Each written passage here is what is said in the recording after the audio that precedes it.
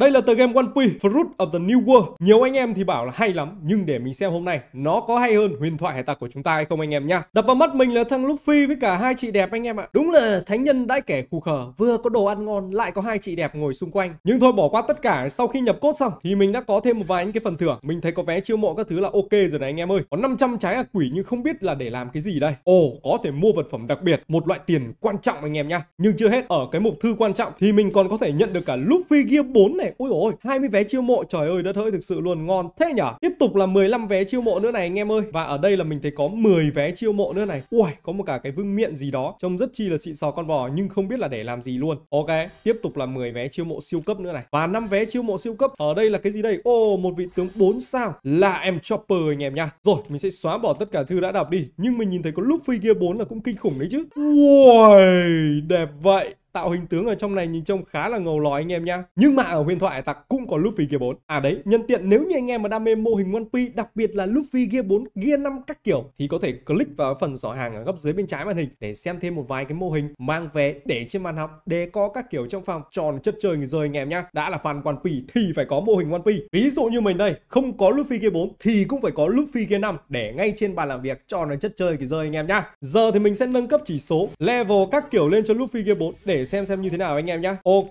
Monkey King, lên luôn nào. Ở đây có một cái quyển sách À hình như là cốt truyện ấy, Mình có thể nhận được thêm. Ui căng vậy 100 trái vàng luôn. Nó giống như kiểu là đơn vị tiền tệ kim cương ấy nhỉ. Ở một trang bị này mình sẽ ấn trang bị tự động. Ồ, hóa ra cái vương miện lúc nãy mình nhận được Trông rất chi là xịn sỏ Là một món trang bị anh em nhá. Trước khi đi chiến đấu Thì mình đã vào trong cái phần chiêu mộ tướng này, Để có thể là chiêu mộ siêu cấp, Bởi vì mình đã thu thập được 71 cái vé, Chỉ với việc nhập cốt cũng như là đăng nhập vào game thôi. Giờ thì mình ấn miễn phí một phát cái đã, Xem được vị tướng gì nào. Wow, chỉ là một tướng cùi thôi. Còn bây giờ thì mình sẽ x10 anh em nhé chiêu mộ 10 lần xem nào. Ra vị tướng gì đây? Mình sẽ lật nhanh luôn này. Lật tự động luôn. Ồ oh, có một vị tướng. Ui giời ơi. Cũng là năm sao luôn. Mr. Tu anh em ạ. Tiếp tục x10 phát nữa. Thì mình đã nhận được vị tướng gì đây? Lật nhanh luôn nào anh em ơi. Lật tự động luôn nha. Ồ oh, nhưng lần này mình chỉ nhận được một vị tướng 4 sao là dâu đen mà. Thôi anh em ơi. Hai vị tướng dâu đen luôn ạ. Ừ, ảo thế nhỉ. Nhưng mà nó chỉ 4 sao thôi nha anh em. Tiếp tục lật nhanh và lật tự động phát nữa đi. Đây rồi. Lần này thì mình tiếp tục ra một vị tướng 5 sao nữa. Asalom what the hell? Đây là đứa nào vậy? Mình chưa biết đến con tướng này luôn anh em ạ. Ở trong One Piece cũng có vị tướng này hay sao? Trời ơi, đất ơi, thực sự luôn. Mình chưa xem đến tập đấy anh em nhé lật tự động phát nữa để xem lần này là được cái gì đây. Wow, lần này thì được là kit này anh em này. Trông có vẻ là mạnh. Nhưng thực hư như thế nào thì mình chưa biết. Tiếp tục là mình sẽ lật nhanh phát nữa đi. Lật tự động. Uầy, lại có vị tướng năm sao nữa rồi. Ui, lần này thì là một smoker anh em nhé trông cũng khá là ngầu lòi anh em ạ. Và lần cuối cùng thì phải anh em ơi. Để mình xem xem nào. Được vị tướng gì đây? Trời ơi, lần cuối cùng thì mình chỉ ra được ba vị tướng tím thôi. Không có vị tướng năm sao nào cả. Vẫn còn x 10 được thêm một phát nữa anh em ạ đây mới là lần cuối cùng anh em nhá. Lần tự động đi. Lần này hy vọng rằng là ai đây? Trời ạ à, sao lại ra hai cái thằng này vậy? Sau khi chiêu mộ xong thì mình cũng đã tích lũy được 1.600 điểm để mình ghép mảnh để xem xem nào. Nhưng mà phải vip 3 thì mới có thể là ghép được mảnh anh em nhá. Cày thế. Sau đấy thì mình vào nâng cấp cho vị tướng kit lên ủa tạo hình tướng trong này trông đẹp vai anh em ạ. Được cái nhỉ. Cái giao diện này trông ui, ngầu vai cả bìu luôn ấy. Không đùa nha tiếp tục là trang bị tự động này. Vị tướng thứ hai là smoker đi. Trông anh này có vẻ là đẹp dai nên là được ưu tiên trước anh em nhá. Nhận thêm 100 trái vàng nữa này. Tiếp theo là mình nâng cấp cho cái thằng gì đây? A Slam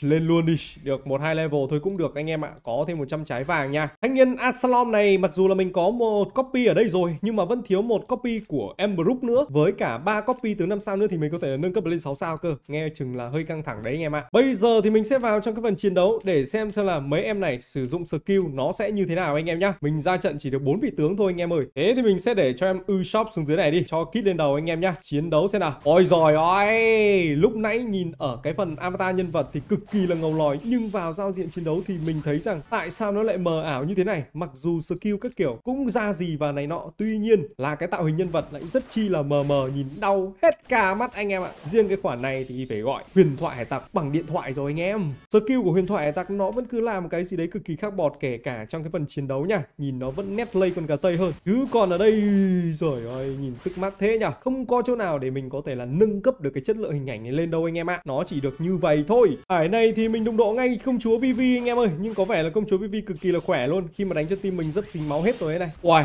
nhưng không anh em nhá một nộ ôi sổ ơi vẫn có thể giành chiến thắng được đến từ Luffy King. Monkey King Monkey King. Quá tuyệt vời mà trời luôn anh em. Ấy mở cái dương nhận thêm một số những cái phần thưởng để nâng cấp tướng anh em nhá. Sau khi vượt ải xong thì game khều mình nạp đầu để lấy được chị đẹp boa han cấp nhưng rất tiếc mình không phải là người mê gái anh em ạ nên là mình sẽ không nạp. He he. Quà tặng online là mình nhận được cái gì đây? Ồ nhận luôn này. Trời phát nữa xem. Wow, Belly và cái dược XP dùng để nâng cấp tướng anh em nhá. Và online tiếp tục thì mình sẽ có thể nhận được thêm trái vàng cũng như là vé chiêu mộ anh em ơi. Ở trong này thì nó không giống như trong huyền thoại hải tặc anh em ạ. Nếu như chúng ta đi vượt màn ải các kiểu đấy thì phần thưởng nó không được nhiều lắm. Nhưng với cái từ game Fruit of the New World này thì cái phần thưởng vượt màn nó ngon lành cánh đáo hơn bởi vì mình nhìn thấy có cả vé chiêu mộ anh em nhá. Chứ còn huyền thoại hải tặc vượt ải đâu có được thùng bia đâu. Nó chỉ ít ít ở giai đoạn đầu thôi. Chứ còn cái này càng vượt trăm thì sẽ càng có nhiều thùng bia anh em ạ. Trong phần lễ hội 7 ngày thì mình thấy có đăng nhập ngày đầu tiên nhận được mỗi 200 trái vàng hơi buồn nha. Ngày thứ hai thì mình sẽ có thể nhận được Usopp. Ngày thứ ba thì mình sẽ nhận được dương rút 30 á hả? Dương này mở ra cái gì đấy? Nghe vẻ là háo hức này. Vé chiêu mộ chạy luôn. Ngày thứ tư, ngày thứ năm là sách triệu hồi tự do. Ngày thứ sáu là mình được một vị tướng Kuma nhưng trông có vẻ cúi bắp nhỉ. Ngày thứ bảy là được 1000 trái vàng anh em nhá. Nhưng ở đây có một cái mới mẻ hơn là qua một lần mở anh em ạ. Khi mà chúng ta chơi được cấp 20 này thì mình sẽ có thể là rút được 30 lần sau đấy lựa chọn một trong ba anh em ơi. Uầy, tức là